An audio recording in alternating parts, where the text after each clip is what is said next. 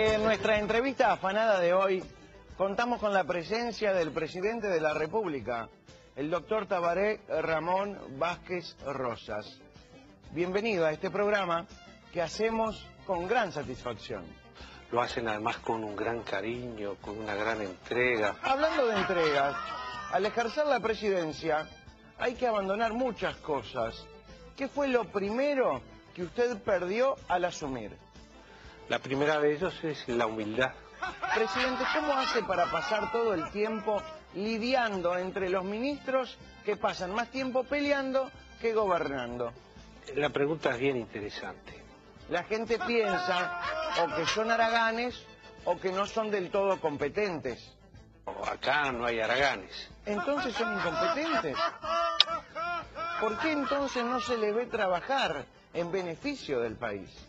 Entre los días de semana no tenemos tiempo como para poder reunirnos a trabajar tranquilamente en este tema. Eh, ¿Y cuándo piensa que van a tener tiempo? Ah, Bueno, el sábado nos vamos a encerrar todo el día, vamos a trabajar sobre el tema. Ah, le avisaron a Gargano, me imagino que está avisado. Me imagino lo que debe ser para usted, presidente, vivir entre las puteadas del Pepe, los olvidos de Gargano y los impuestazos de Danilo. Bueno, no es sencillo, no es fácil. Presidente, ¿no se le ha ocurrido estudiar el comportamiento de los ministros que a veces se comportan como si fueran más de la oposición que del gobierno? Están siendo estudiados por científicos de la Universidad de la República y si es necesario serán estudiados por científicos de otros países especializados en el tema. Perdón la pregunta, pero ¿usted cree que están cuerdos? Personalmente en este momento no.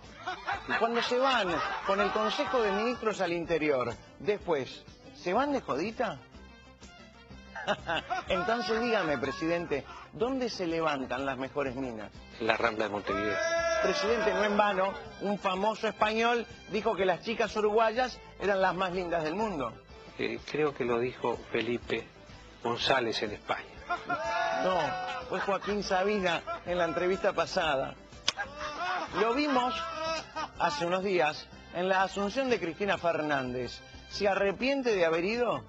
Es una pregunta muy compleja, ¿verdad? ¿Desde qué punto de vista cree usted que se diferenciará Cristina Fernández de su marido Néstor Kirchner? Desde el punto de vista de su actividad eh, sexual. No, presidente, ya tenemos demasiado problema con los argentinos como para tratar de levantarse usted a Cristina. ¿Se la quiere levantar en serio? Esto es joda y joda, ¿eh? ¿Cuántas veces salen por semana con los ministros de, de- de- de joda, de fiesta? Dos, tres, cuatro y hasta cinco veces. Imagino que usarán preservativo para no contagiarse el HIV. O una sífilis, o una gonorrea. Muy bien, hay que cuidarse, ¿eh? Ahora, ¿por qué a los políticos les gustan tanto las minas? ¿Nunca van a una biblioteca? No, no conozco ninguna biblioteca. Presidente, para terminar, si aceptara ir a la reelección, ¿qué le pediría a la ciudadanía? Que no nos votara. Muy bien. Hasta aquí nuestra entrevista afanada de hoy con el presidente de la República, el doctor Tabaré Vázquez. Buenas noches. Muchas gracias.